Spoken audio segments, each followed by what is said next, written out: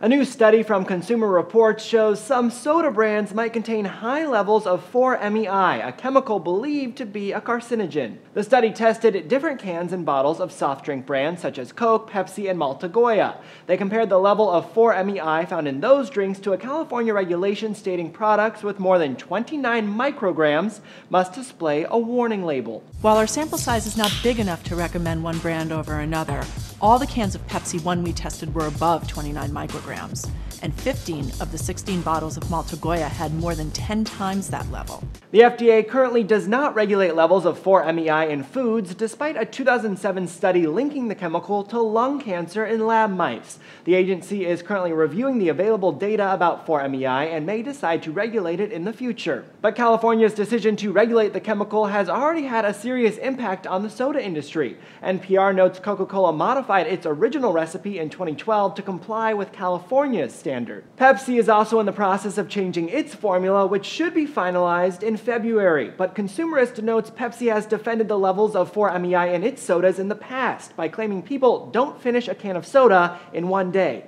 The company cites government consumption data that shows that the average amount of diet soda consumed by people who drink it is 100 milliliters per day, or less than a third of a 12 ounce can. For that reason, they say Pepsi One does not require cancer risk warning labels, even if the amount of 4-MeI in a single can exceeds 29 micrograms. But before you chuck that can of Pepsi in the trash, ABC's chief health and medical editor notes it's still unclear whether the 4-MeI levels in soda can significantly impact people who drink it. You would need need to drink more than a thousand cans of soda every day to take in as much of the chemical as the mice that got cancer. So I'm not concerned. But if you are, look at the labels for the words caramel color, and then you have a choice. A Pepsi representative responded to the Consumer Reports study by saying all Pepsi products are in full compliance with California law. For Newsy, I'm Bryce Sander.